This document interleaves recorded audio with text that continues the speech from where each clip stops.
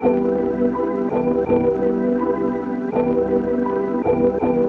guys, good morning. I wanted to make a what I eat in a day video.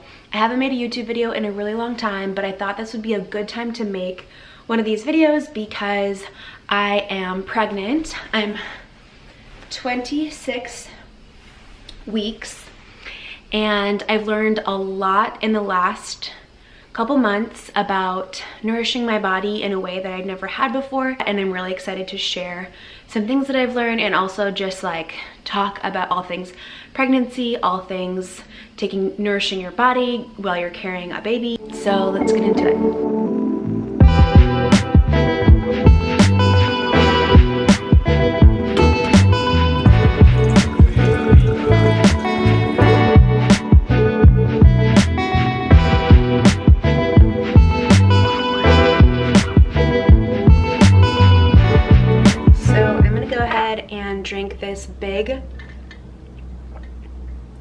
Cup of water. I used to do lemon water in the morning, but since being pregnant, on an empty stomach, I get very easily nauseous from too much citrus. Um, so I still wanted to be intentional about the first thing I put in my stomach. And this is a rapid immune boost. Since COVID, I've been really trying to be diligent about my immune system since I'm immune compromised because of being pregnant. This has amazing ingredients in it. It has echinacea root, um, horseradish, horseradish root, golden seal, which is incredible for your body, um, black elderflower, a bunch of other really amazing things. Um, my old roommate turned me on to it and I have been drinking it, including it into my diet religiously. Um, it is kind of gross. Um, not gonna lie, it doesn't taste good, but it's good for me and I definitely have felt a difference. I have more energy in the morning and I get going. I got this at a co-op, um, so I'm sure you could find, actually I think I got it from Whole Foods, so. Hey Paul. What's up girl? he has an early morning so he is getting started for the day and headed out the door, but we're gonna go change and work out.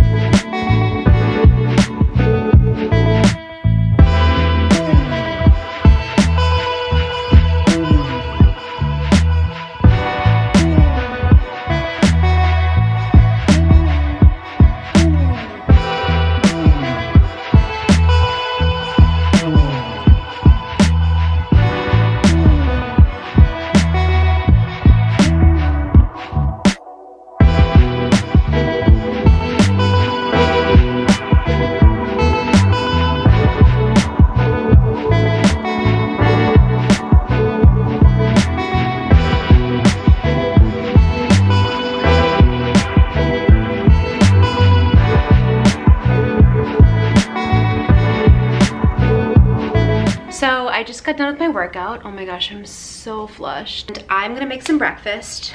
I try to eat intuitively based on what my body is feeling like it needs. I'm gonna make my favorite smoothie. So let's get into it.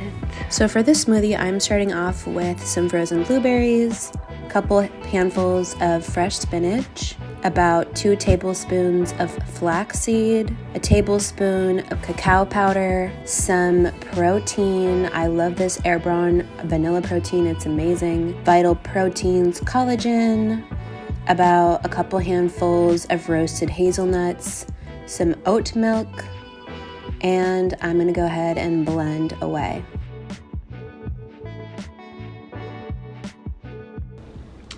So while I am enjoying my smoothie, I just wanted to take some time to talk about pregnancy in general and health. Um, I think a lot of misconceptions around pregnancy is that once you get pregnant, it's kind of a free-for-all and you can just kind of eat whatever you want to eat. I think while it's important to indulge and enjoy your pregnancy, it's also really important to maintain your health because it only makes your health getting back to being healthy postpartum that much harder if you've created like hard habits to break, whether that's sugar or overeating carbs. My first trimester, I could not eat anything but bread like toast, pancakes. I just wanted bagels, pasta, macaroni and cheese. That is a very short time period. It's just your first trimester and it does feel like it's gonna be a long time, but once your second, second trimester hits, you may still have like nausea and whatnot, but you tend to have more energy and you tend to be able to take care of your body a little better because your energy starts coming back. Really, it's about just making sure that you are staying on top of your health and it's the most important time in your life to take care of yourself and take care of your body because you're not just taking care of yourself, you're maintaining a life and that's super important and super important to prioritize. So I hope this encourages you and also gives you healthy perspective as to how to approach your diet, your daily diet um, and nutrition when it comes to Before. I start my day, I'm gonna hop into the shower. I love putting a couple drops of this Boost blend by Vitruvi. It has grapefruit in it, which really helps me wake up in the morning. Next, I'm to be doing my skincare routine. I have a very simple skincare routine, and here are some of my favorite products I use every morning.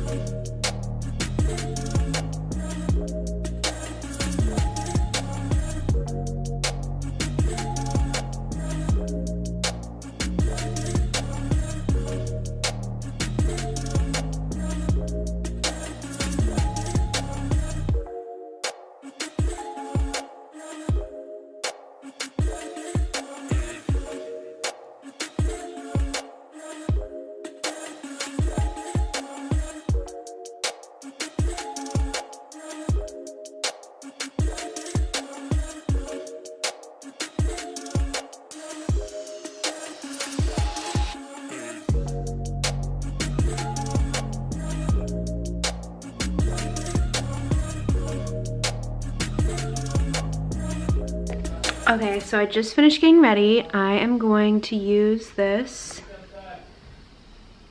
um, CBD oil. It is edible CBD oil and it's vanilla avocado by Remedy. And it has 750 milligrams. Um, a lot of people have asked me whether CBD is safe for baby um, it depends on who you talk to. There's not a ton of research around it. I've heard amazing things just from people that I respect that it's actually super good for your body and for your baby. So I take it. That's what I do.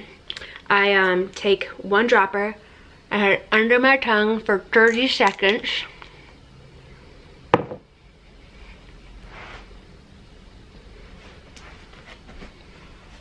I'm starting to pop out of this jumpsuit and all my clothes for that matter.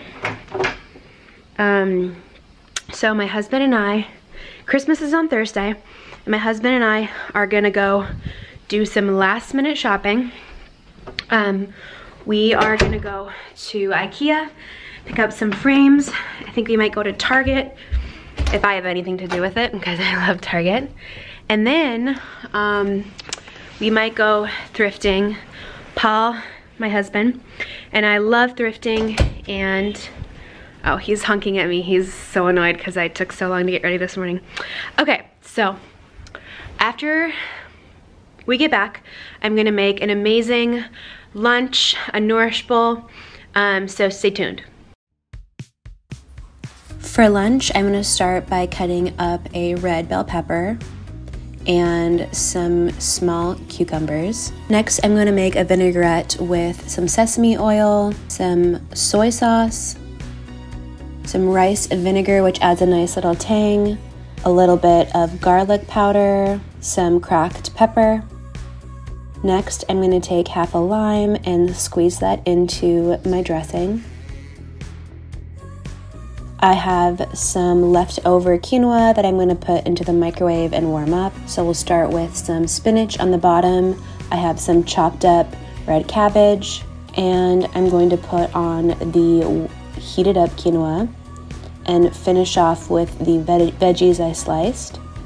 I soaked some frozen edamame with some hot water and I'm going to put that on top for a little bit of protein. Then I will top my grain bowl with my dressing. I will top a little bit of nutritional yeast and some sesame seeds on top.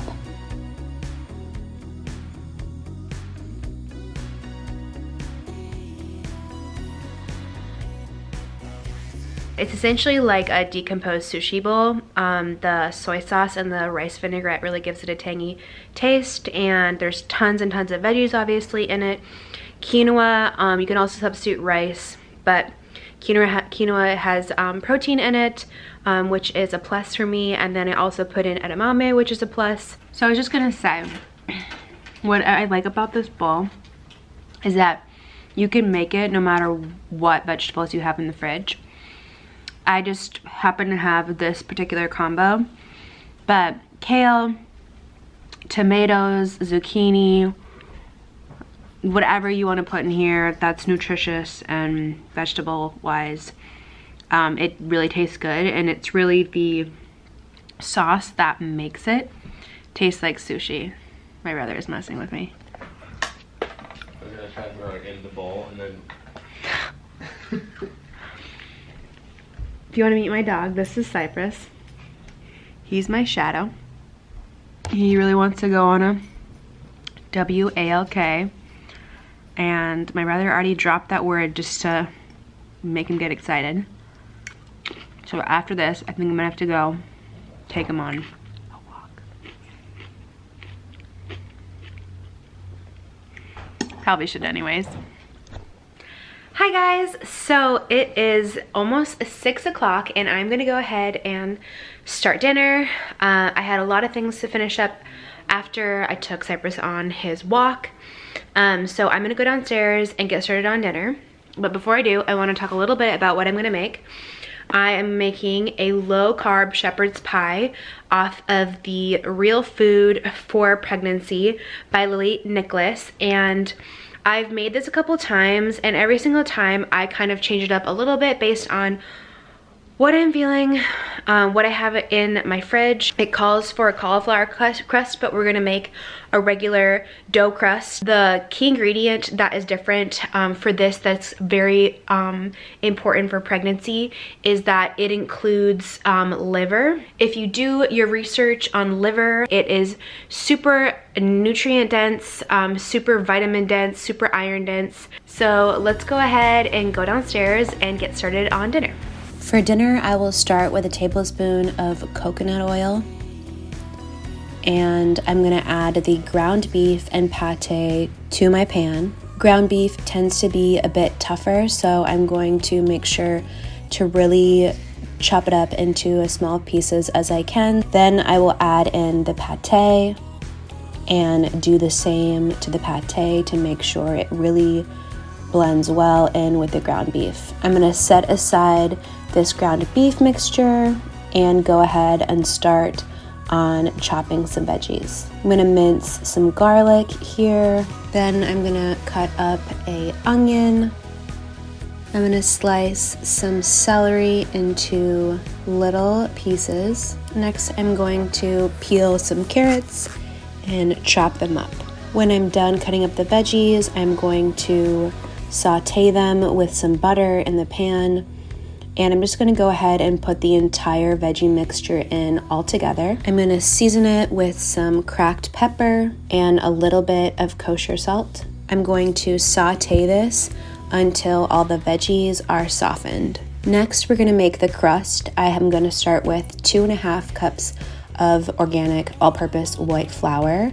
Then I will chop in some cold butter into little pieces and slowly add them to the flour mixture. If you have a blender or some type of food processor, um, this would be a perfect time to use it. I do not, so I'm going to be doing everything by hand. I added a little bit of salt and some cold water, and I'm going to mix this mixture up until I get a nice flaky dough. I'm going to knead it out and take my rolling pin and flatten out the dough. You want to make sure that your dough is large enough to fit over your pie pan. Next, I'm going to take a pie platter and put in the ground beef and veggie mixture and top it off with the pie crust. Now it is ready to go into the oven and I'm going to cook this for about 40 minutes on 375 to 400 degrees Fahrenheit.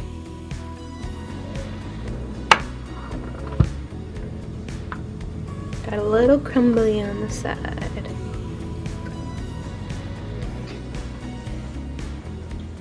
Ooh, whoa, look at that steam. Oh my gosh, that's so much steam.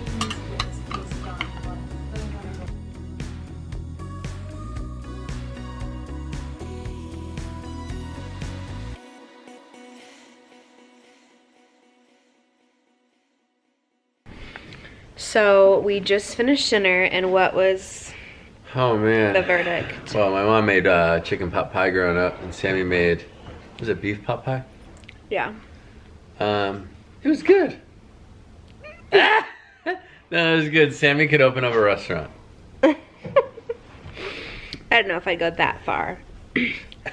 but the good news is neither of the guys even knew that there was pate in there or even commented on the taste. And I don't even know what that if you pair pate with or liver with some type of ground beef, it's so much easier to cover up the taste. Mm. And you're still getting in your nutrients. Um, we are probably going to have some dessert now. Christmas is on Thursday, so we're going to. We made a ton of Christmas cookies. My brother is concerned about the pate. he goes, You put pate? It's liver. Yeah, it'll it'll kill you. It kills you. No, it's it has a ton of really great dense nutrients in it that are that are that's helpful for um, pregnancy. Merry Christmas. Merry Christmas. So uh, yeah, I'm gonna have um, some Christmas cookies tonight, probably for dessert. Um, I love dessert. I love something sweet at the end of the day. Sometimes I will do um, try to do something like healthier, like um, like like a bowl of like cereal, like healthy cereal, or um, What? You've eaten ice cream. I haven't eaten ice cream in like three months. I don't know. I don't really crave ice cream. it's like too sweet for me. Or some type of chocolate usually is what I'll go for. Um, I've been loving the RX bars, the chocolate chip bars, um, because it has dates in it, which is like a natural sugar, chocolate, which is sweet, and like sea salt and peanut butter. It's so so so good. Um, and I like having that. I, lately, I've been having that for a dessert. So yeah, this is a day in my life. And thanks for Peace. watching. thanks for watching. Um, if you like this video, please let me know because I'd love to like continue to film uh, videos like this if uh, they're interesting or helpful for anyone. Um, thank you so much for watching. Please subscribe, and we'll see you guys later. Bye. Bye from Mila. Oh damn! Cut to the bloopers. This is our little baby. Baby girl. She's coming in March. Can't wait. And this is our Cypress. Our little baby. Mommy, Our firstborn. Too big. Okay. Thanks for watching. Bye.